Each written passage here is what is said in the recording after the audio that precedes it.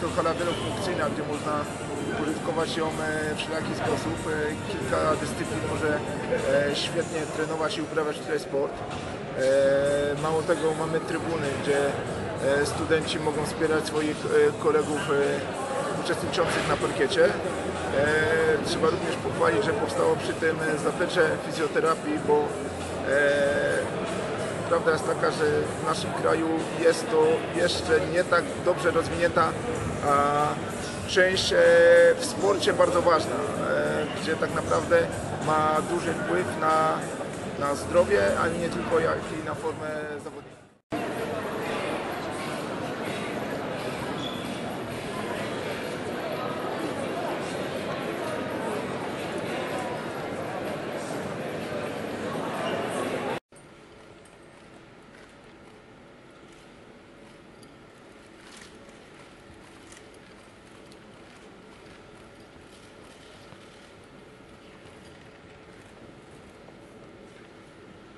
Teraz można już bezpiecznie ćwiczyć.